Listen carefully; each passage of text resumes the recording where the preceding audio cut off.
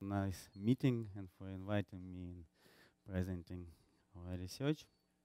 And uh, uh, so in, in my talk, I would like to present uh, one of the approaches for uh, study of uh, proteins on the base on some uh, general ideas of symmetries, which as many of you are well known that very fruitful in the condensed matter physics and in particle physics and so on. So, so uh, in my talk, I first I very briefly say about motivations because in this auditorium everybody uh, understand limitations of different approaches and different mo models. Then little bit about local symmetry dynamics, briefly in uh, making some just pedagogical example. And then uh, I would like to describe our approach and uh, several uh, and uh, exactly three uh, examples. It is myoglobin, rhodopsin, and knotted protein, which we already applied to study. And for rhodopsin and knotted protein is just preliminary results, and I think that it's first time when we are presenting it. So motiv motivation. So Actually, the, the main motivation that there are some limits in molecular dynamics. Uh, first of all, people consider uh, those limits as a kind of technical problem, but for the uh, other hand, uh, those limits can be considered as a kind of principal problem, uh, which, uh, for example, we, we well know in particle physics. So we, we, we, know, we know that local field theory or some local approaches, lo uh, local description of dynamics, not always, or maybe in many cases, does not describe large distances and some collective uh, behavior and collective phenomena, which is highly non-perturbative. And uh, this is one of the examples. Uh, so one uh, could one somehow describe uh, tsunami using water molecular moving, for example even uh, uh, let's say we have some earthquake and we should uh, predict if it will be tsunami or not. Of course, even if we make huge computer and, and try to understand is it tsunami or just movement of water, it's almost impossible because tsunami is a kind of uh, non-linear collective uh, behavior of water, which actually it is soliton. so we uh, we, Uh, uh, we base our approach on the uh, concept of uh, symmetry, uh, gauge symmetry, and symmetry breaking. And actually, in condensed matter physics and then particle physics, there are many examples how it works. Here, maybe most famous example, for example, local U1 symmetry provides us nice Maxwell equations and full set of electrodynamical uh, phenomena and so on. But uh, we, we can obtain equations which describe everything just very simple uh, gauge symmetry. Also, standard model with symmetry breaking. So when we have symmetry breaking, we uh, obtain some structure and some uh, nonlinear phenomena. If we have, uh, and for example, it's uh, here. It's Higgs phenomena and generating of mass of vector bosons, also well-known example. And in uh, uh, uh, there is another example from confinement, uh, which is somehow on the border between particle physics and condensed matter physics, because it's there are uh, because th th this example when such approaches which are using concept of local interaction and some local constituents does not work actually. If we would try to describe confinement in local field theory using only perturbation theory, we cannot do it. So it's, uh, uh, and it is not just technical problem, in fact. It's, uh, I think that it's conceptual problem. And uh, uh, the, uh, the last famous example is superconductivity and uh, type 1 and 2, two superconductors. This uh, uh, then we have broken one symmetry and we have highly nonlinear phenomena and also we, we do not think about details of obtaining of Cooper pairs or something. So we just have new degrees of freedom. We integrate a lot of uh, local dynamics on these degrees of freedom, and then we have very nice model which describe uh, as uh, superconductors of different type, and even structures within uh, superconductor. And here I would like to mm, say one important point because we, we have many discussions about our approach when we compare with other approach. Uh, uh, here the main idea that if we have some general symmetry properties and we know symmetry of the system and also uh, br symmetry breaking in the system, then we can hope that structure which are obtained at the end can us provide information about dynamics. For example, if we analyze uh, lattice of uh, abrikosov vortices in superconductor, uh, if we can describe the structure geometrically, then we can obtain some parameters of our theory which uh, uh, which, uh, which can describe this phenomenon. So this is the main idea. So we try to start from structure, reproduce the structure, and on, th on that way we hope to find real dynamics of the protein. So the main aim, aim here is uh, to describe dynamics of protein in uh, maybe in some uh, on, on the uh, secondary and tertiary structure. So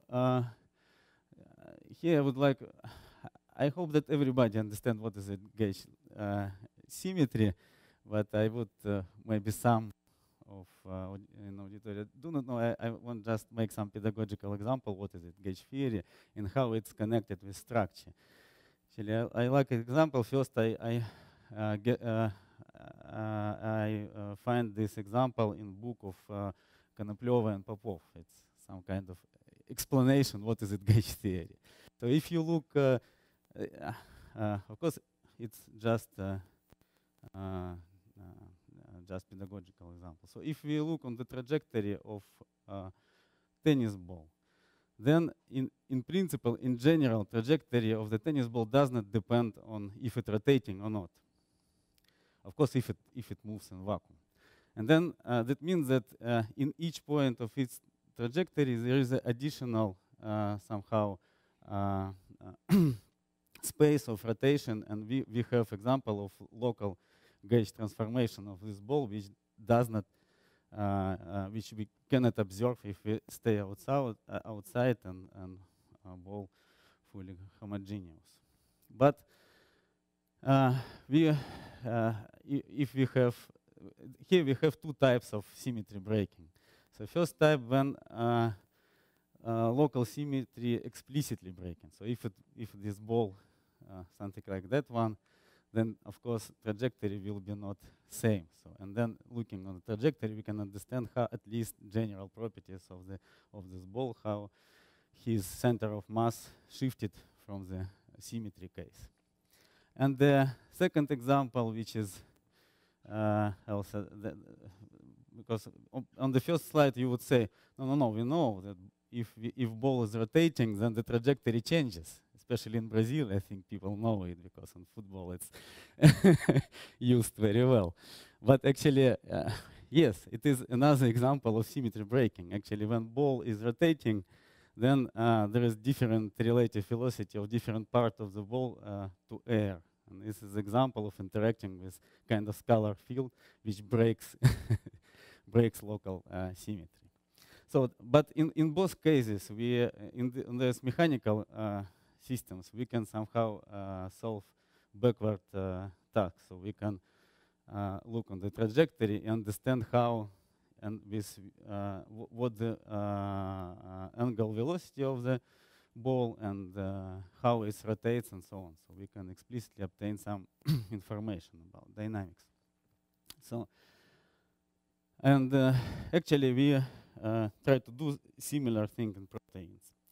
So uh, actually uh, the basis of this theory was uh, first proposed by Antti, who somehow was able to know that if we just use another frame, then we obtain very nice new variables which have very nice physical meaning. Uh, it, it, uh, it, it is example when we are uh, applying different mathematical apparat we apparatus, we can obtain uh, uh, new information about structures and, and, physics. So protein in this case is considered as a kind of one-dimensional manifold described by two variables, by three Frenet variables. It is a variable s which counts uh, point from the beginning of curve and then two rotation angles. One is a torsion, another is a bending.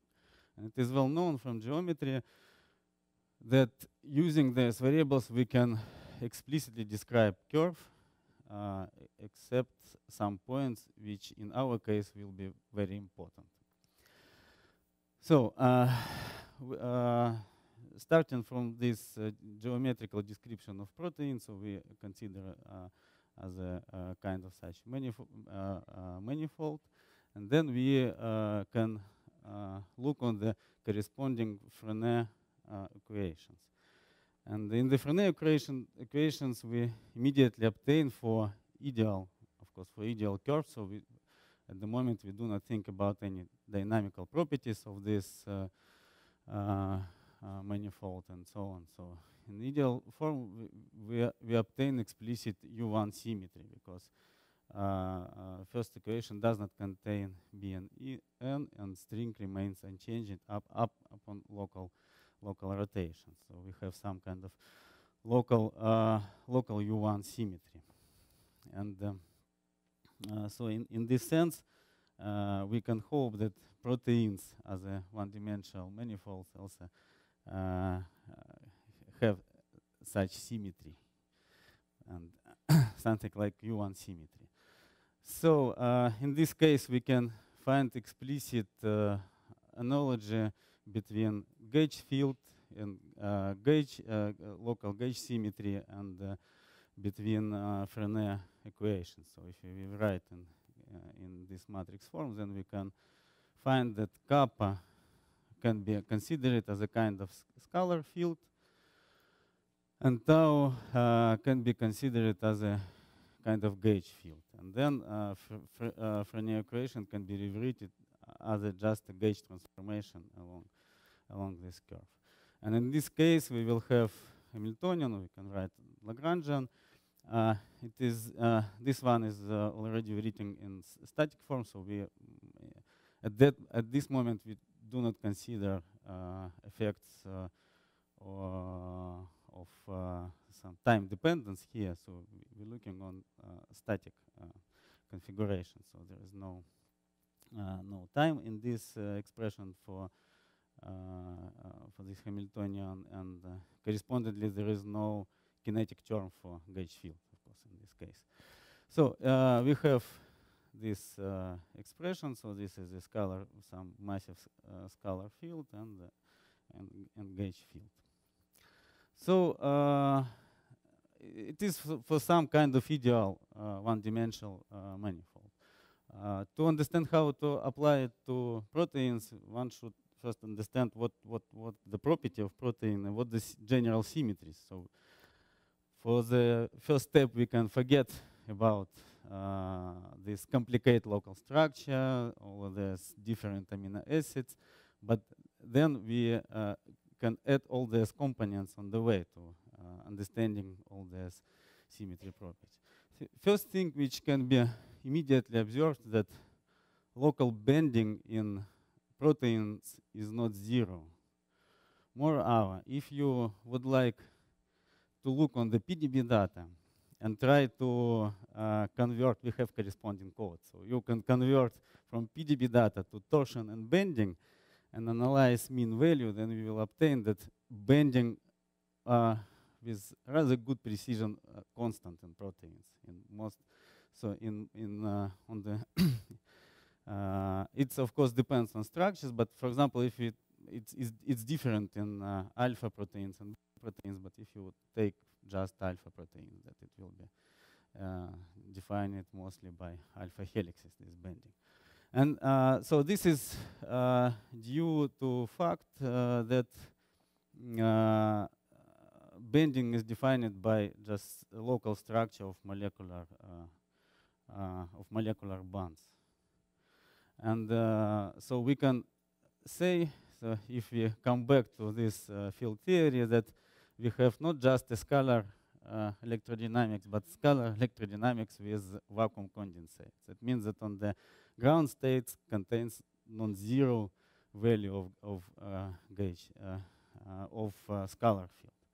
Another thing which we can see here that uh, actually if we have protein inside, inside water, of course, there are additional forces which orient all the amino acids in the correct way. In this sense, we do not have uh, explicit uh, gauge symmetry, but gauge symmetry here additionally broken by hydrophobic and hydrophilic uh, forces. So there, there will be uh, somehow two um, mm, two sources of this. So first source is a kind of Higgs mechanism when we have uh, condens condensate and we can rewrite and due to interaction of uh, torsion and uh, bending, there will be uh, breaking of symmetry. And also uh, gauge symmetry is broken explicitly, like in this example with balls. Another thing which everybody will know that here also chiral symmetry breaking in proteins and uh, in, in, all uh, living matter chiral symmetry is, is broken and it is uh, it's uh, connected with uh, structure, three-dimensional structure of amino acids. That means that if we want to construct some field theory for proteins, we also have to take into account explicit chiral symmetry breaking, which we happily we have such tool in the field theory. It is a Chern-Simons term, which we can just add to our Hamiltonian, and then we will obtain the full theory. So here is a Hamiltonian, where we have non-zero uh, vacuum condensate, also uh, uh, which term which comes from this explicit uh, gauge field uh, gauge symmetry breaking, and uh, additionally uh, term, uh, Chern-Simons term. So for one-dimensional space, Chern-Simons term will, will have this exactly form, but it's clear that uh, dependently on the sign of this constant, it will give us mostly right-handed uh, uh, alpha helixes and left-handed uh, alpha helixes. So we have here explicit symmetry. So it, it leads to the following expression for the free energy of the, of the string.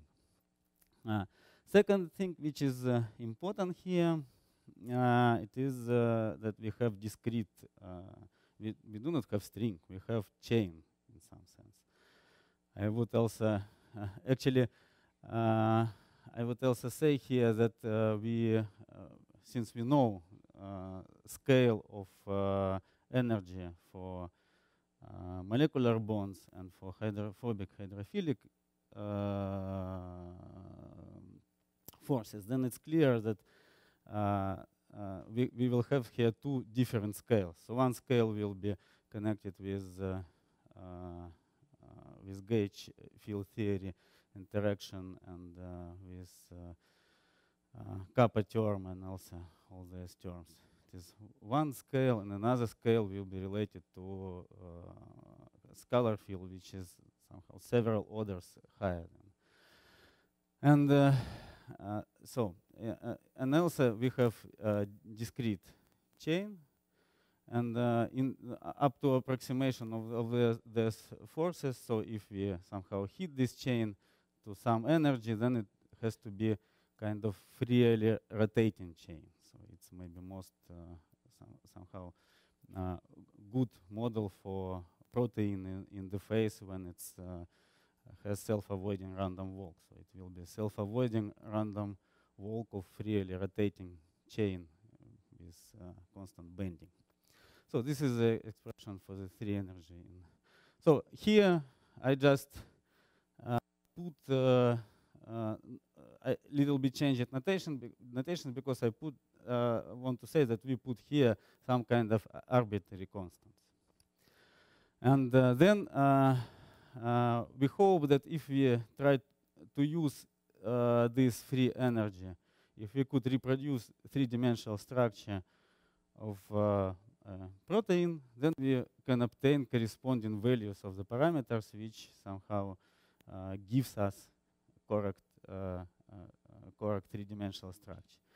If it's so, then we have very nice tool to study at least uh, uh, thermodynamics of proteins having uh, free energy, which we believe so it's it's correct and can describe dynamics of protein. Then we can st study some thermodynamical properties. So uh, uh, next, uh, next important thing that in this all the symmetry breaking and symmetry properties immediately lead to some self-organization in protein. Uh, first, uh, it is well-known alpha helices, so if you have constant bending,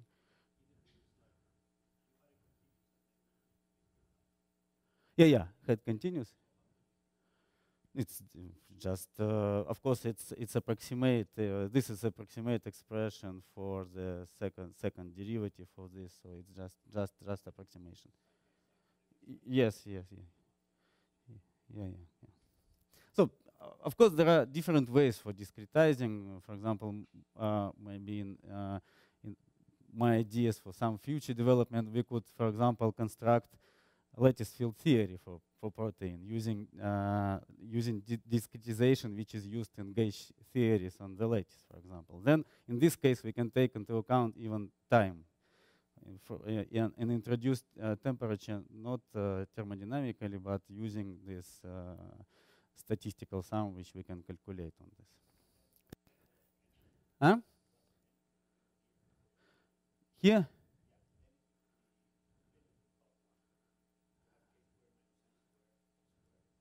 You mean this M?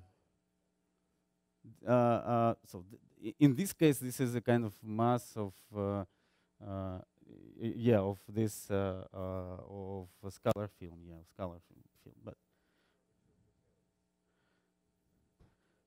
yeah, it's yeah because it's yeah, it is yeah, yeah it's somehow symmetry break. So if you look on this somehow potential for Higgs model, for example, then uh, M is uh, related.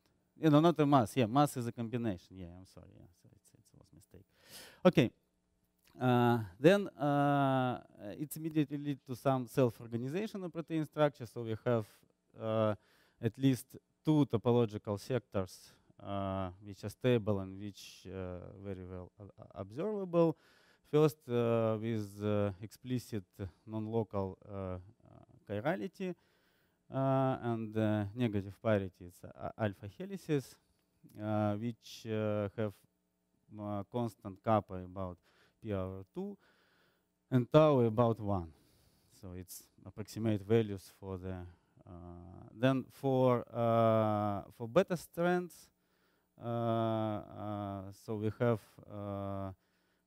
we do not have some explicit non-local uh, chirality of, of, of, beta strands itself, and positive parity with uh, also other vacuum uh, values of the kappa and tau. So in, the, in this sense, we already have some mm, bricks to somehow to construct protein using these things. But most interesting part are uh, uh, its loops and all the structure related to loops and so on. And uh, actually, uh, this interesting part connected with some uh, special points in the this Frenet frame description, because Frenet frame is working very well when we have non, everywhere except such points. So when we have so-called inflection point, where curve be becomes flat, it is uh, impossible to determine bending in torsion, and then uh, somehow we can consider as a kind of special points and using Z2 symmetry, uh, actually any frame, uh, frame, frame description has Z2 symmetry. So we, we can uh, change sign of kappa and add P, so obviously uh, reproduce uh, same, same curve. Then it, uh, in this case, we have somehow change of sign of the uh, uh, of the bending, so it's a kind of soliton. Uh, so that means that such points they have have to be uh, so we, we should obtain them and using dynamics which we already constructed, and it, it is really so. So if we would take abelian Higgs model or Landau model for, for this uh, one-dimensional uh, space, then we, uh, it uh, obviously contains uh, solutions, soliton-like solutions. And energy of such kink has following form. That means that we can somehow consider our chain, trying to find such special points, and then try to reconstruct protein as superposition of alpha uh, uh, of uh, solitons, which are so con connected different alpha ground states or beta ground states or alpha beta ground states and so on. And there sh should be uh, some number of solitons. So we try to describe protein in this case as superposition of kinks. And then uh, we obtain those parameters not for, in this case, not for each amino acid as it you would expect in the beginning, but the, for the whole soliton will be same parameters. So these self-organizations allows us to reduce number of par parameters by very strongly reduce. This is a one funny example, which I somehow taken from Antti. He very much likes this example and show everywhere. So actually, such solitons, they live on, on such one-dimensional manifolds like phone cord. And in fact, uh, it always leads to some phone cord folding, even nobody specially do it, it but it always happen. huh? Yeah. yeah, okay, what it says. So the first, uh, now I'm coming to our example. So first example, it is a structure of myoglobin. So we take this PDB data for myoglobin.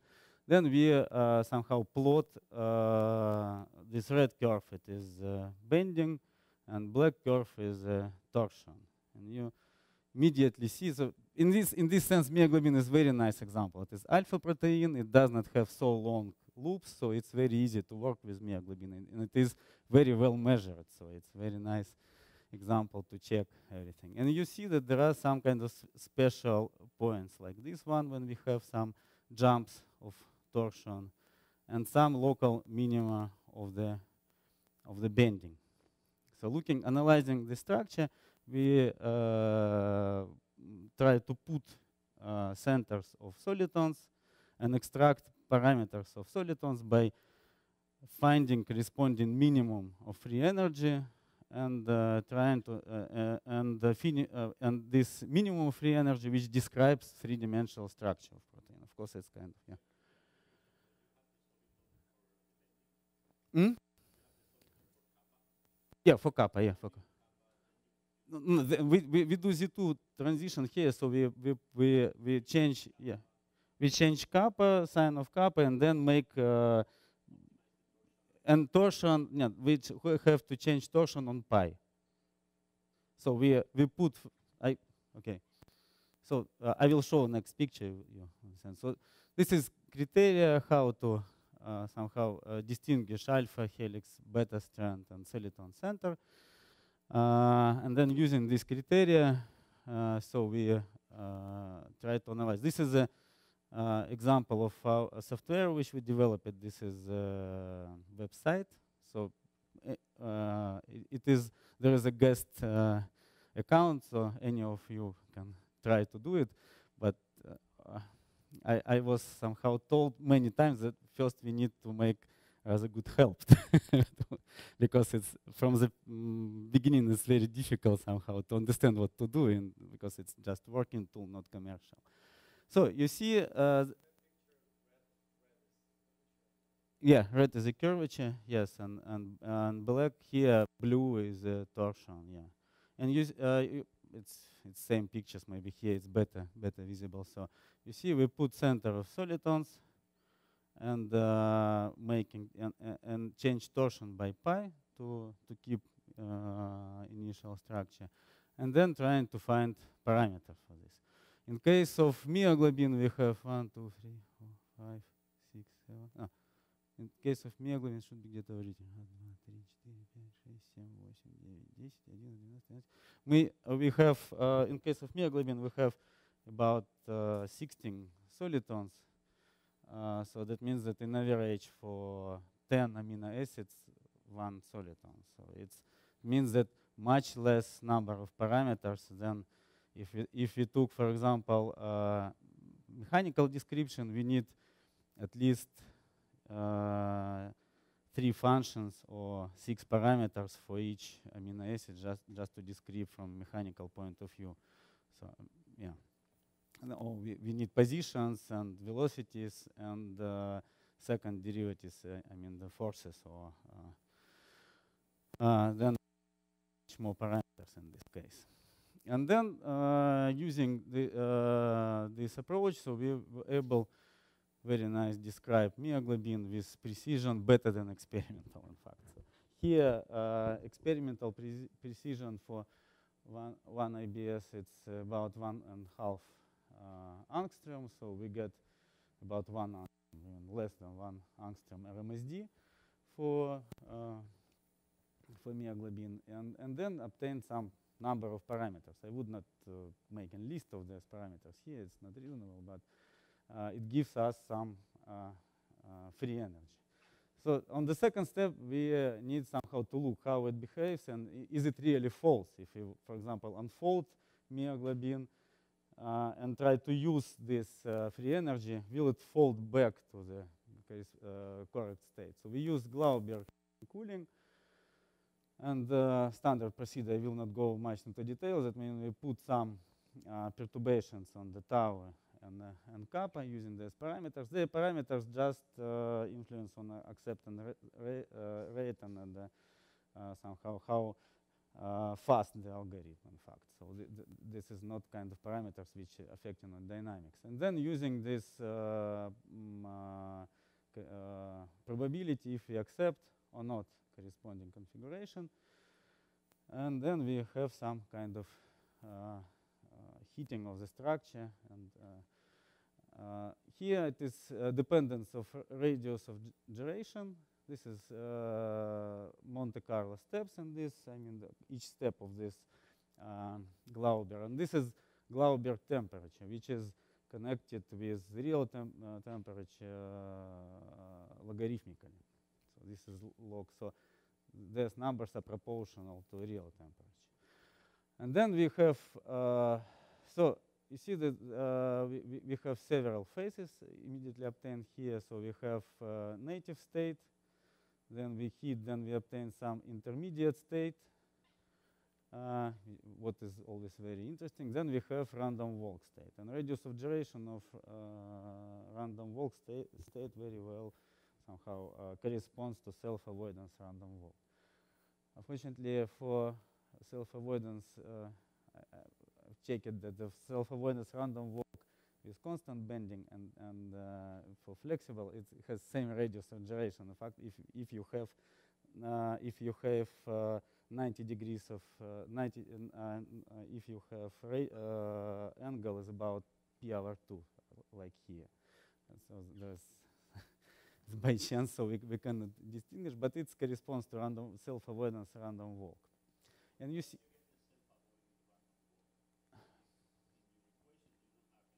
No, no, no. I mean, we, we, we just can calculate radius of gyration of the corresponding chain with uh, self-avoiding random walk and see, and and this uh, this this chain corresponds to so it's it's just a standard equation. No, no, no. It's not model random walk. This is I mean that we can say that this is random walk, but model is the same. So model is the same. So we have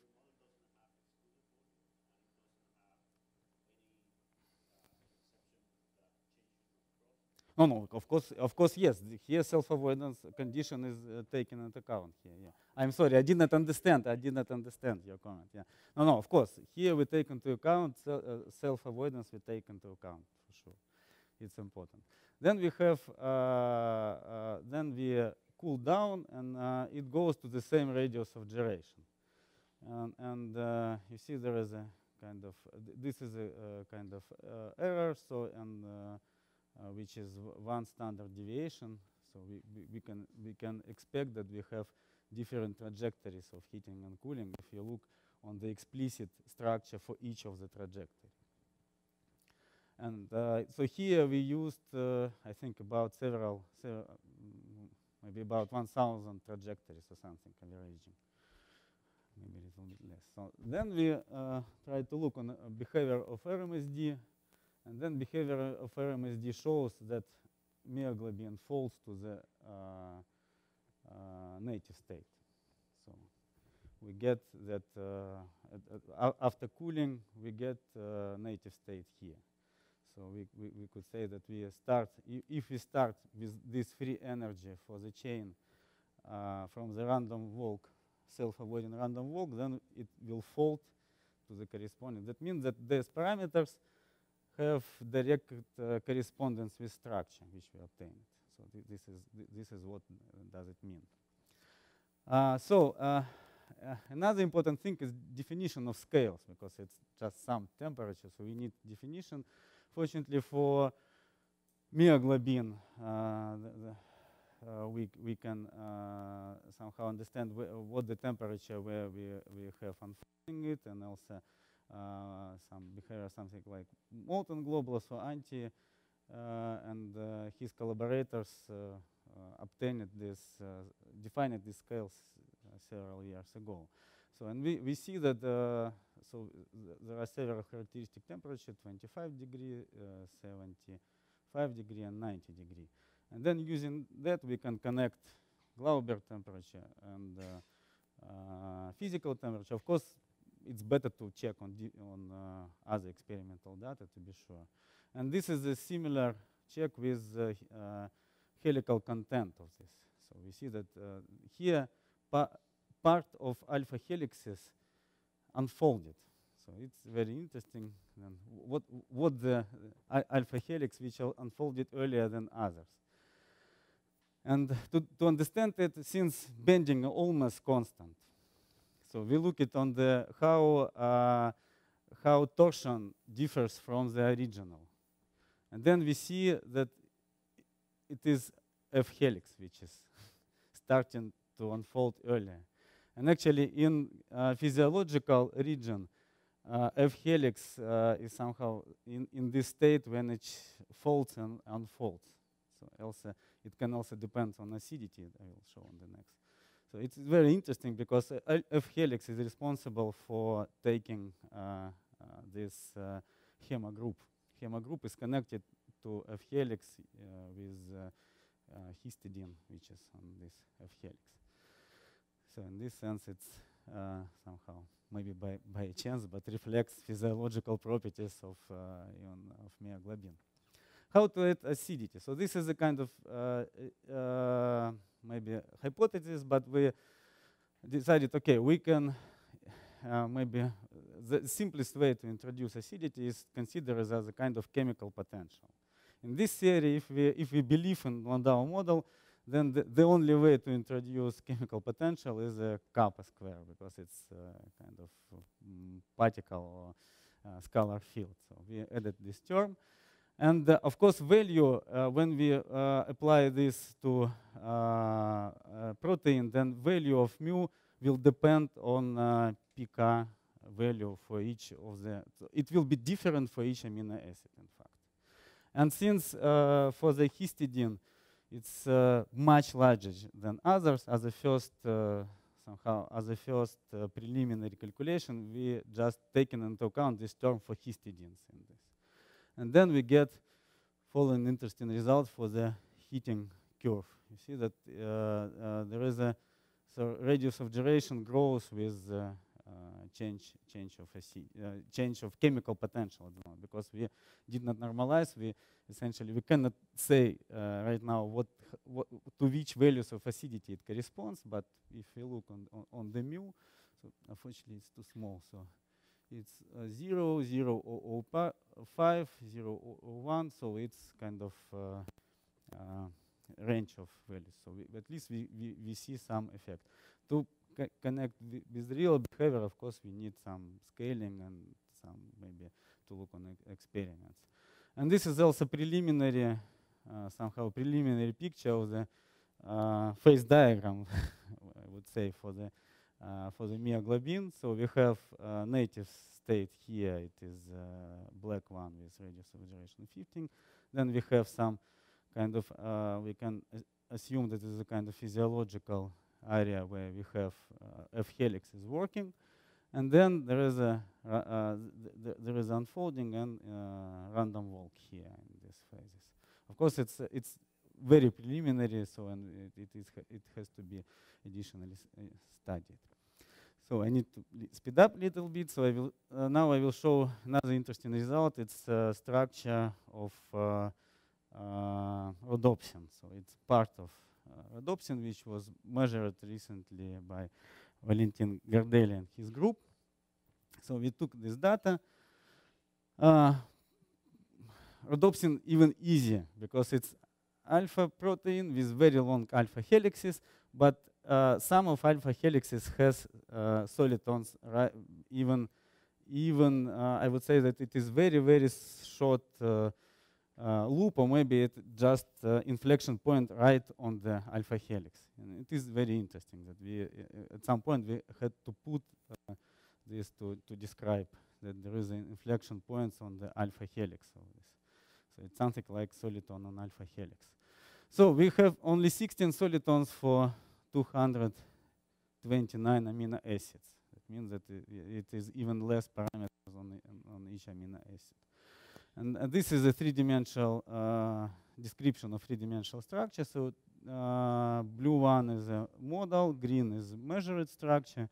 So you see that it's ra rather well describing. So precision here also about one angstrom, little bit, little bit less than one angstrom. I mean, not precision, uh, RMSD. Then we uh, uh, then we use again, heating and cooling algorithm using here physical scale already. And it's interesting that for rhodopsin we have very interesting effect which can be measured. And uh, we hope that uh, Valentin will find time to measure or maybe other experiments that there is a very uh, uh high peak in this. Uh, that means that uh, some of alpha helix is very stable with temperature and they are heating to rather high temperature because this big radius of gyration means that some alpha helix is somehow moving as a whole. So it, it, unfolds, this part unfolds just due to some um, uh, uh, loops and maybe pa uh, part of alpha helix. So uh, then uh, there is unfold of all alpha helices, and this is uh, self-avoiding random walk. And uh, folding comes in the uh, completely symmetrical way here. Yes, finishing. Yeah. So okay, keep it. And another, another last uh, interesting example. It is sleep knot. So we also put. I will not go in details here. So this is description of sleep knot also with good precision. But slipknot is very difficult protein because there are very so beta sheets somehow they are not homogeneous. So th there is a bending in beta sheets, which is also, so we, we, we have to put some solitons on, on these beta sheets. But most interesting thing was what happens with unfolding and folding of knotted uh, pro protein. And, and here you see we find that it does not fold to the same radius of gyration. But of course it's average uh, value and we, and we uh, calculated nativity and find that 30% of configurations go to native states, to knotted state. All others uh, unknotted. And uh, we uh, calculated corresponding uh, uh, distribution. And you see this is a native knotted states, very narrow distribution with radius of gyration. And, and here, uh, three groups of three, or maybe four, maybe one wide, so we need more statistics here three or four groups uh, we, uh, which unfolded, which is somehow corresponds to maybe roughly corresponds to what uh, Joanna uh, told uh, us that there are several groups unfolded. But our probability is rather high, so it's 600 trajectories here. So I have to finish. So, so, conclusions are very general, as in, in the beginning, as I stated. So we are using this idea of effective field theory. So when we explicit dynamics, explicit local dynamics integrated in effective degrees of freedom and uh, in corresponding constants of theory. And we hope that we can extract, uh, uh, if we describe uh, structure, then we can extract this information. So on, on this example, we see that at least uh, up to now it's successful. So we, we, of course, we should look more on uh, beta proteins, which are more difficult, uh, maybe larger proteins. Actually, now we are calculating uh, protein which, can, which has 1,200, I think, amino acids, and 90% of this already fitted with precision better than one angstrom. it's amazing that uh, this uh, approach works so well. And also it's about 10 amino acids on each on, uh, on each soliton. In fact, uh, one could criticize this approach and say, okay, we can put these inflection points everywhere and then we can uh, describe everything. Of course, if we would have two or three amino acids on each soliton, then it's nothing. We could not extract any information in this case. But if you have 10 uh, and more than 10 amino acids on each soliton, that means that th there is really self-organization, which is really related to the symmetry breaking and symmetry of so this is our group, this two linked photos. So this is our supercomputer on which we are calculating this. It is, it is small but powerful. so it's uh, mainly GPUs, using mainly GPUs. It's about 30, uh, maybe 25 teraflops. And this is our colleagues, uh, uh our young guys who are working hard on fitting proteins. Antti, who is visiting us uh, often, but we would see him much often than he is visiting. And also uh, uh, some Japanese co colleagues which are interested in also uh, participating in this uh, activity. Okay, thank you very much.